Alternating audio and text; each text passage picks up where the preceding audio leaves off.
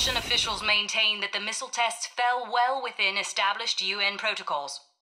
No comment was received from the ultra nationalist party, where rumors of a possible leadership struggle have just begun to surface.